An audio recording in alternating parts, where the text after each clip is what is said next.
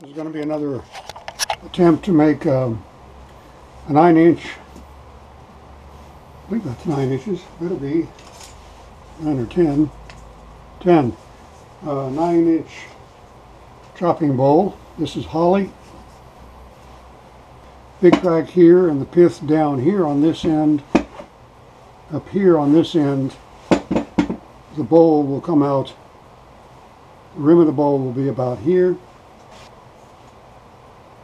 Yeah, I can just get three inches there. I've been having a lot of trouble twisting the blanks off of the worm screw. It's not the friction of the screw, it's the friction of the face of the jaws on the bottom of the blank. Now I put paraffin in there a couple times. So what I'm going to do this time, put paraffin on the jaws and on the grooves, the threads, and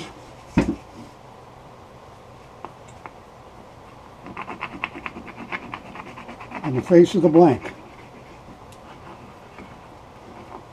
That should make it easier. Get this dang thing apart later.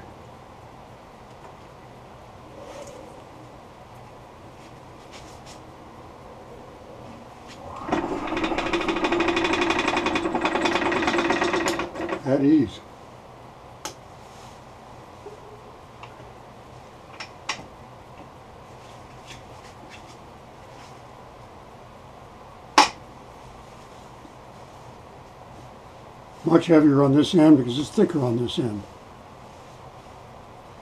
So, it will be slow going at first. I am going to bring up tail support on this.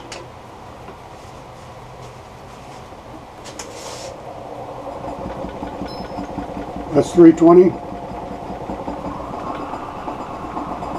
480, 450, 580, 650, 700. My lathe is not bolted to the bench, and the bench is not bolted to the floor. 850 smooths right out.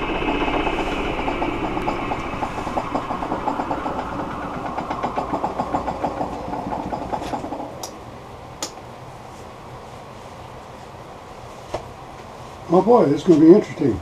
So we will start out at about 800 RPM.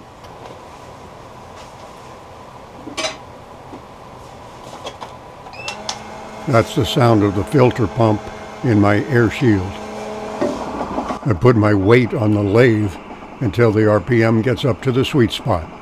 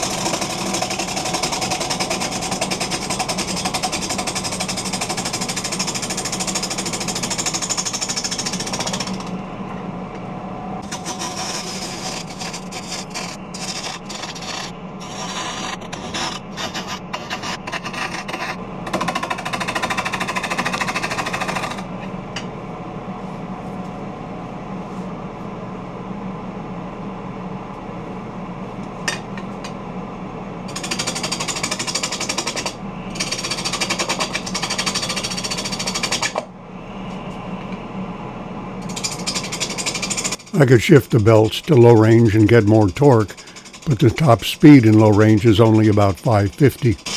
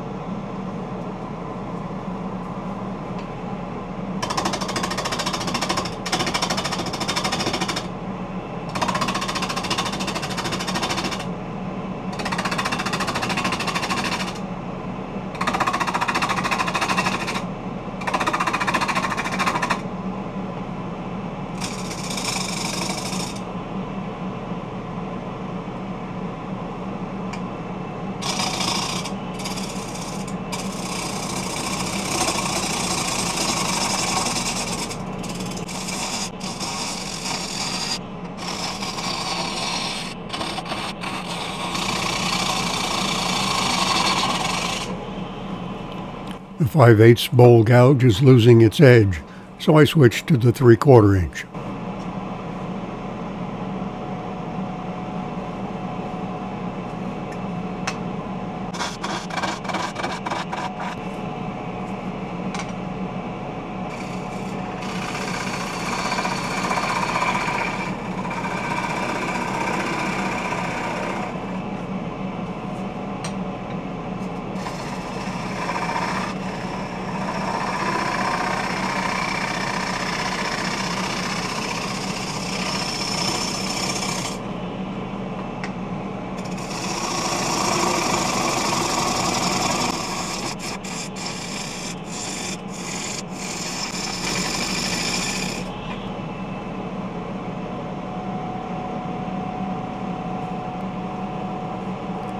I double check to be sure my divider hasn't somehow mysteriously shifted from 87 millimeters. When I first saw people doing this, I marveled that they could get the circle exactly the right dimension on the very first try. But it's easy.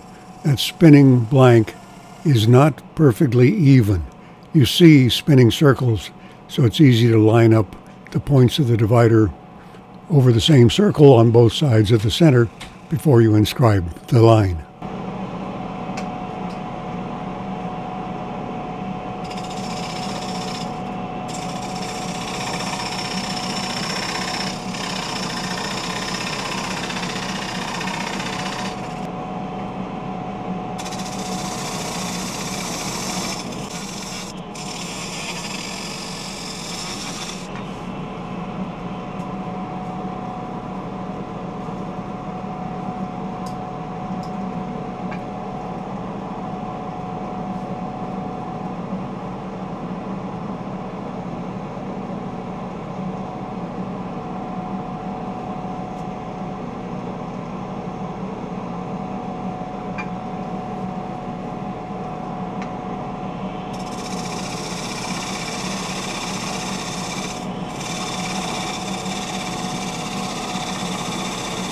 Moving the gouge slowly with light pressure and the flute almost closed yields a very smooth surface.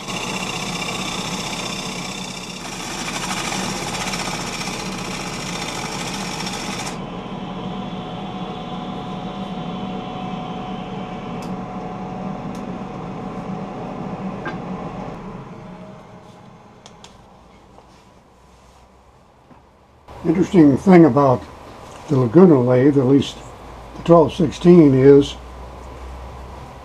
with the power off, if you select it forward, it turns easily. In reverse, not so much. In reverse, it turns reverse easily, but forward, not so much. So if you've got a heavy bowl and you don't like waiting forever for it to spin down, turn it off, put it in reverse. Don't turn it on just put it in reverse and you get some sort of dynamic braking. It slows down very quickly. Kind of weird, kind of interesting. Okay, now I don't want to go any deeper this way because I have to stay below this pith. It's going to make this a little shallow already. It's a tenon, this is the foot. So from pith to foot, only two and a half inches. It's got to come a little smaller too to get rid of the bark here and here. Oh boy, okay, well, we'll keep going here. Take off more here and start getting the curve in here.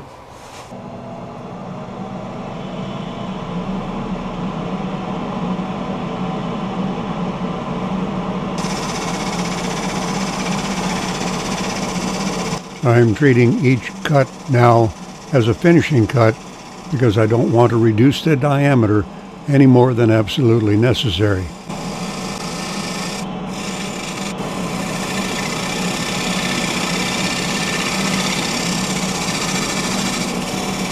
Now the three quarter inch is losing its edge. I'll switch to the half inch. When this one gets dull, I'll stop and sharpen everything.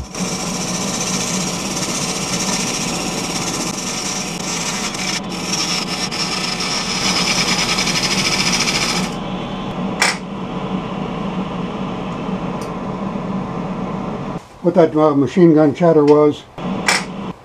Reverted to old habit. The uh, spindle lock on this lathe was originally red. I was always reaching for it to stop the damn thing.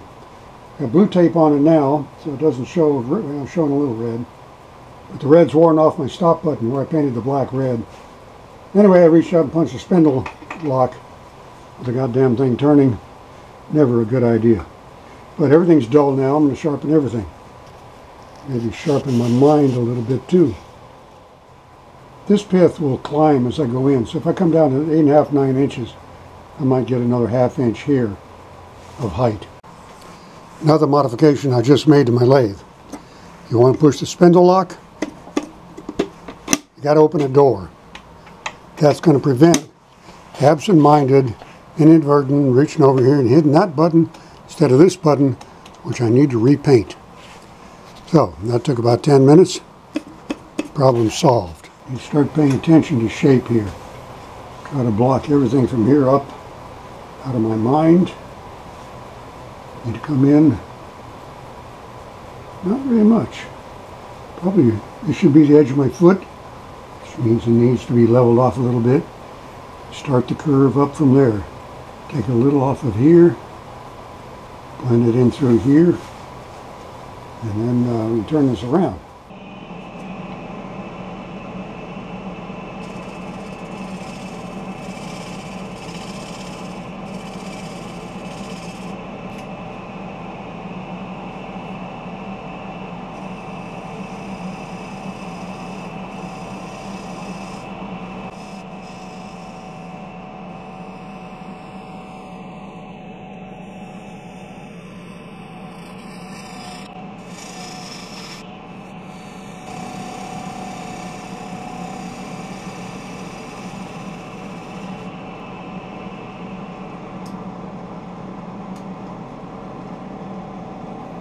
I don't know if this is going to be a blemish or a beauty mark.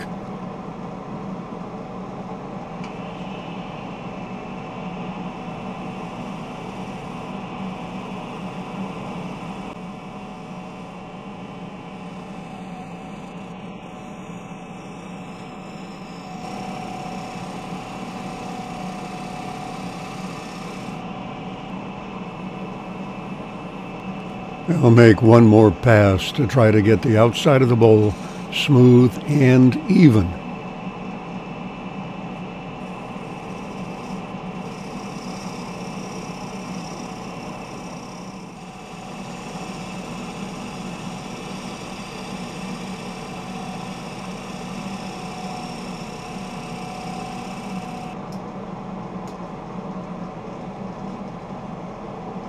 There are still ridges, but it's smooth between the ridges.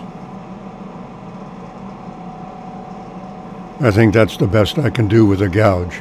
I'm not really comfortable with scrapers, but I've seen how effective they are at removing this sort of ridge on a curved surface, so I will give it a try.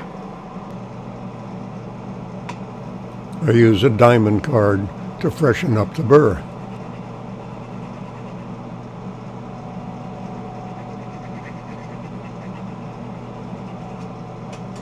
I'll shear scrape at about a 45 degree angle, sort of like a road grader scraping a rutted dirt road.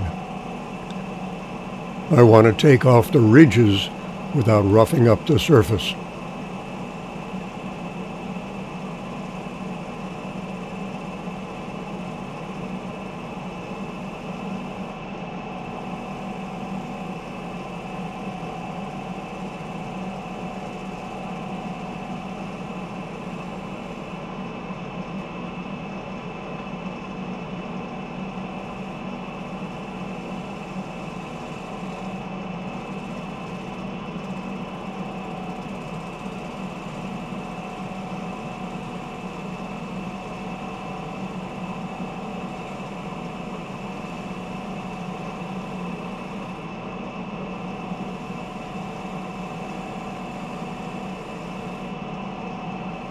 Just a little bit more here and there.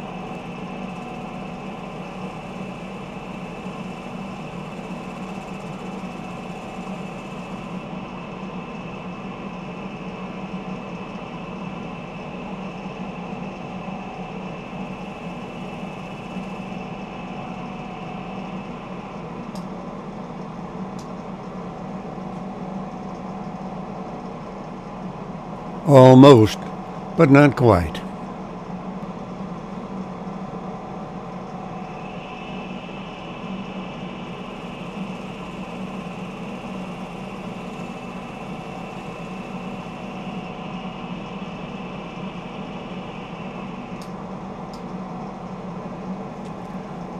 Okay, finally I'm happy. Now I'll work on the foot and make a shallow tenon and turn this around.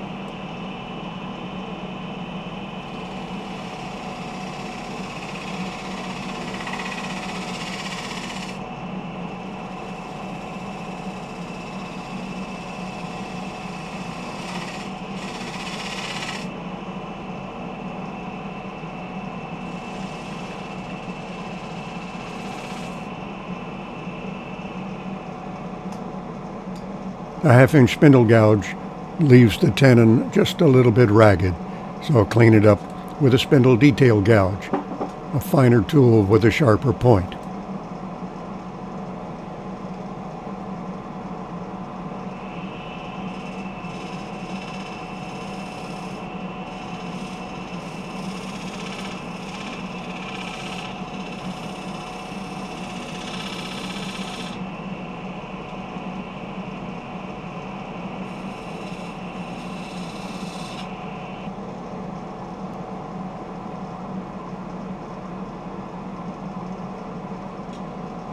There are still a few stray fibers clinging to the tenon.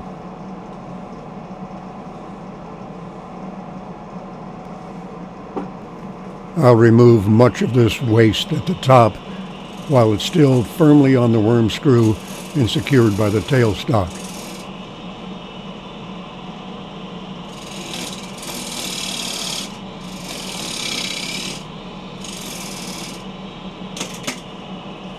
That big crack does not like the scraper. I'll use the 3 quarter inch bowl gouge instead.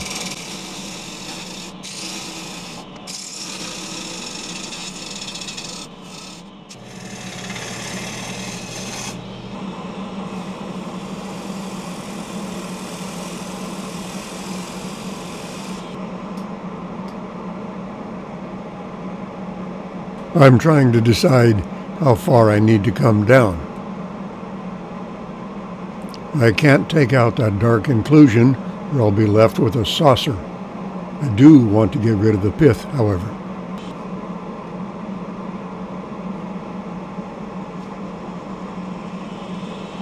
Just a little more cleanup here.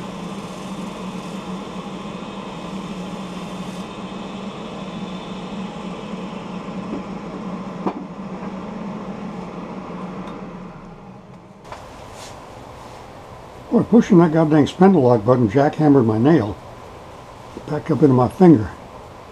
Smarts. Okay, this little pith doesn't matter. It ends right here, angling up. This one, don't know yet. Don't know where to put my rings. I don't know where the top of the bowl is yet. As it sits now, three and an eighth to the foot. Maybe two and a half at least. I'm just going to have that pith in it. It's just no reasonable way to avoid that. That bullseye in the center of the frame is not the pith that's the center of the tree. That's just to the right of it in the very edge of the bowl. It's a branch, but it didn't come out perpendicular to the tree trunk. It looks almost like the tree forked there. Interesting. Okay, I don't have to do anything else here. Double check I'm not exceeding 5 mm. 4. In these step jaws, the tenon will not seat properly if it's more than 5 millimeters long.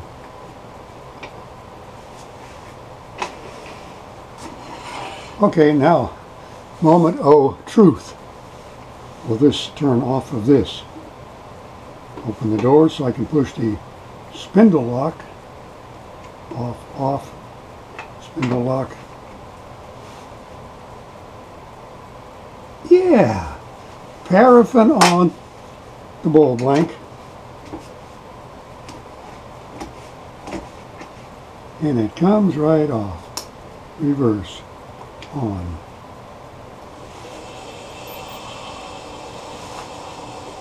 Off, forward.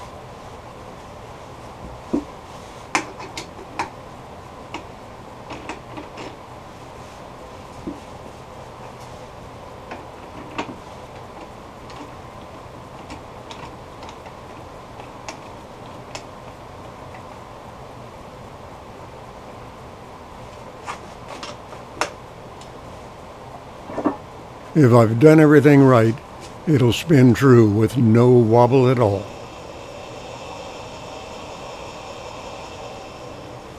Pretty true spin. Nothing remaining of that crack.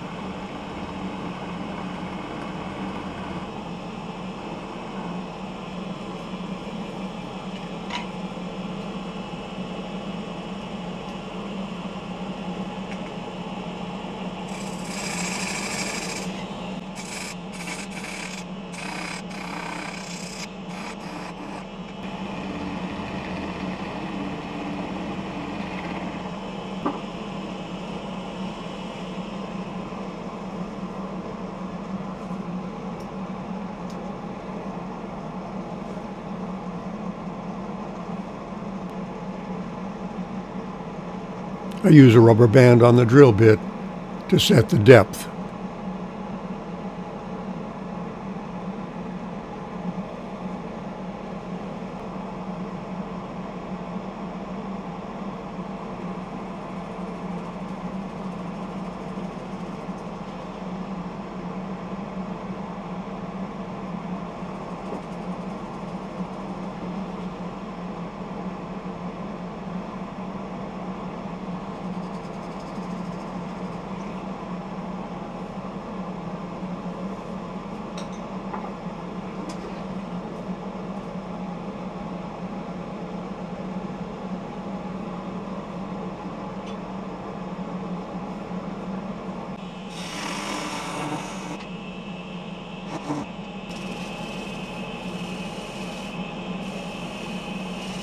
I'm not entirely sure where the rim will be, so I treat each cut as a finishing cut until I'm inside the rim. And then it's just a matter of removing wood. It's like the old joke about how do you carve an elephant? You take a big block of marble and chip away everything that doesn't look like an elephant. It's the same with making a bowl. I was so focused on what I was doing that it didn't occur to me to change the camera position. Nothing exciting happened here anyway, so I'm going to skip ahead. This inclusion, or whatever it is, does not go all the way through. Some sort of, oh, that's the other pith on the other side. That'll be gone in a minute.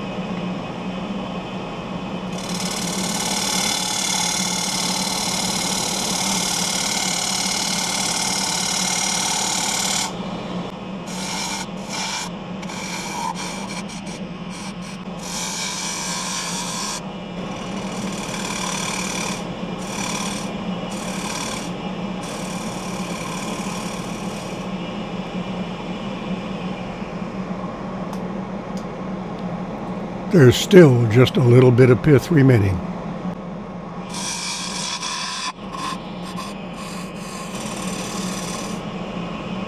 The rim is sharp enough to draw blood. Now it isn't.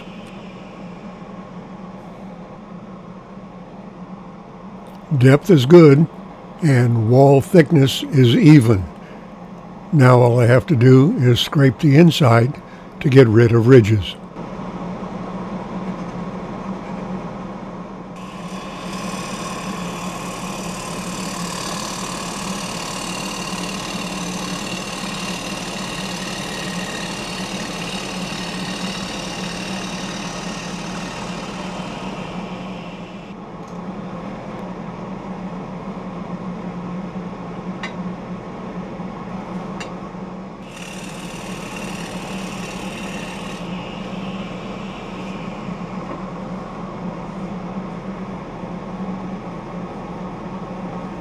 Finally, I'm satisfied.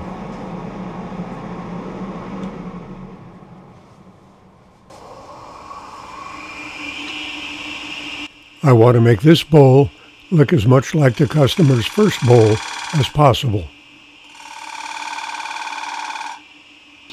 High speed and a guitar string burn in the accent.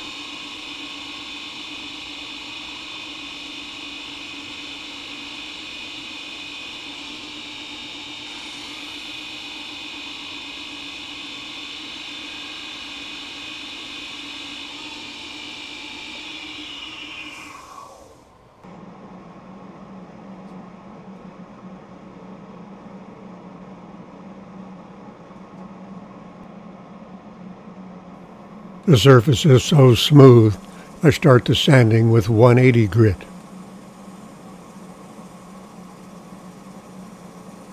Eighty on the inside and uh, up through 240 and then we'll be done.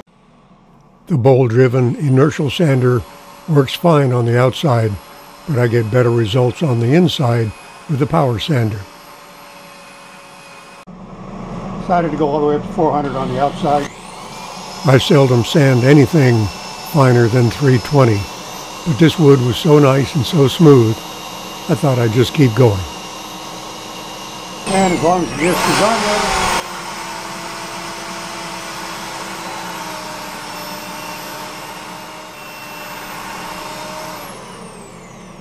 and that should be done.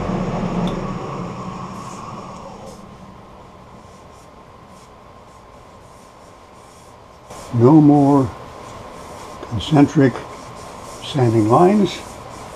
No rough grain on the inside. The rim is smoothed up. The outside edge not quite razor sharp anymore. And close to it. 320.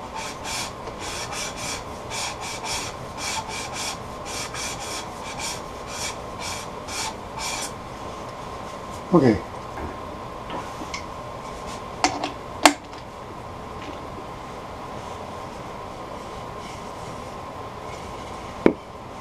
This ended up being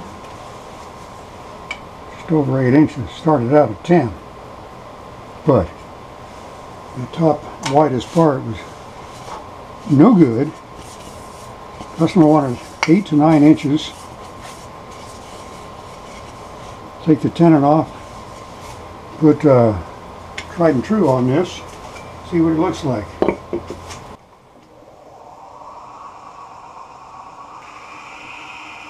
There's 900.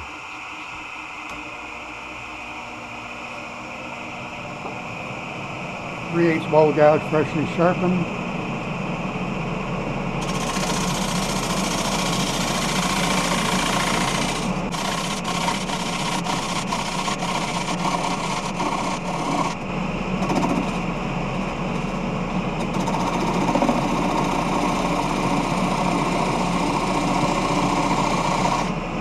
This is where I often get into trouble.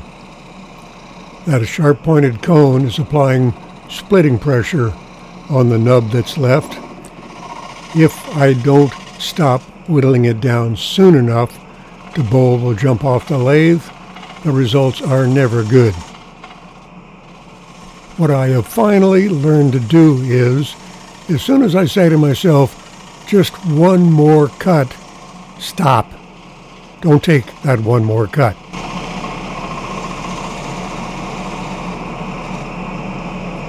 Having spindle gouge.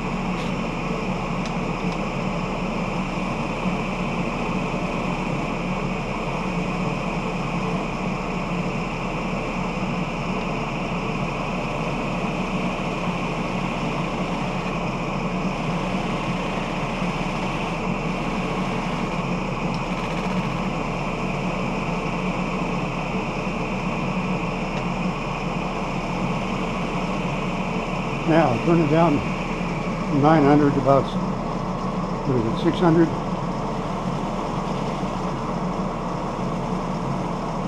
The bevel will hold the bowl. just like that.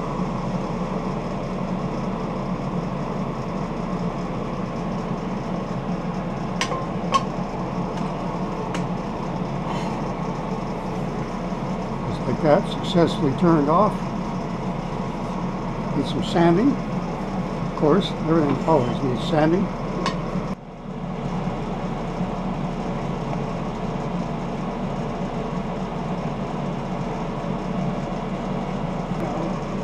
Here's one good shape.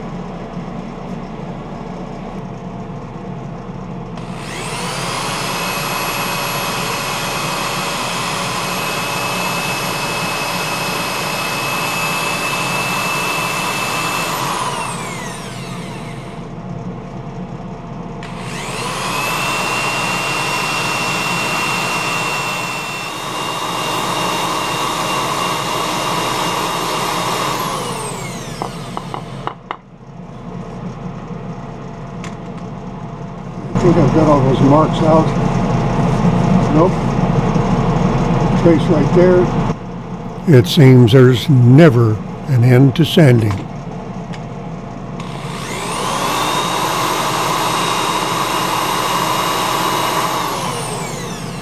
Trace is gone.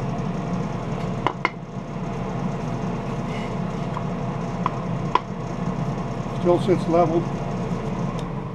I am happy.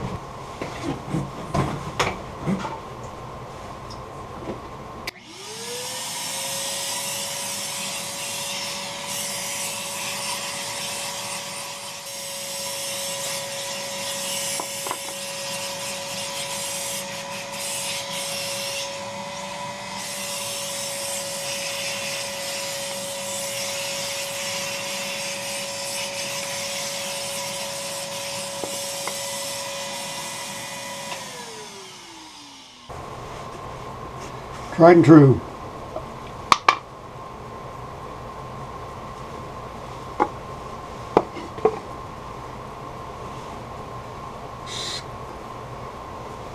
That's what happens when it sits in a container with too much air in it. So I poured it all off into a no loss bag. Bag that you squeeze all the air out of as you use the material so it's never exposed to air and never skims over. This doesn't take much. I've got enough in this rag for three bowls. Rub it in. Let it sit for an hour or so. And then uh, rub it briskly with a clean cloth. You don't get a glossy spit shine finish, but you get good coverage, good protection, food safe. I understand it, any finish is food safe once it is fully cured. But that may be incorrect. So this is beeswax and oiled linseed oil.